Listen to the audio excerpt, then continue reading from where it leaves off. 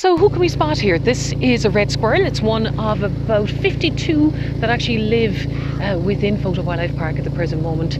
Um, red squirrel, very, very important, belongs to a group of animals called Order Rodentia.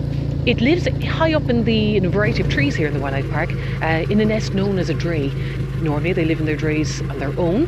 During the winter period, to help them to stay warm, they might actually decide to share their dray with perhaps one or two other red squirrels in the area as well. He feeds mainly on seeds from different trees, even ones that you'll see here, like the pine cone, for example. So, an obvious sign that red squirrels actually live here in the wildlife park as well. So there are lots of these scattered across the woodland floor right throughout the wildlife park and outside the, the boundary fence of the wildlife park as well. Of course, if food comes into short supply, it might decide to change its mind. It could feed on things like fungi.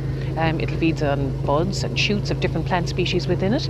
Um, but its preference certainly is for, for seeds more than anything else here. The breeding season for them can start if the weather is very, very mild in December, then it could start in December, and run right through to the following autumn as well. So it can be quite an extensive breeding period for them.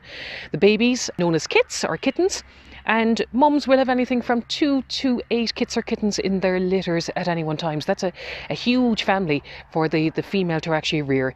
Normally, once they reach an age of two to three months, then they decide to leave the dray and they live independently as well. You can see from them that they have a, a thick coat, very important to keep them warm during the winter months. A very long, bushy tail, which is a balancing aid for them. Sharp claws, very, very important for climbing as well. And during the winter months, they don't actually hibernate like a lot of people would assume. In actual fact, they go into what we call torpor. And torpor is just a short period of inactivity. So they may decide that when the weather gets very, very cold, that they may decide to actually stay in their drays or nests for two or three days at a time with the aim of actually saving energy.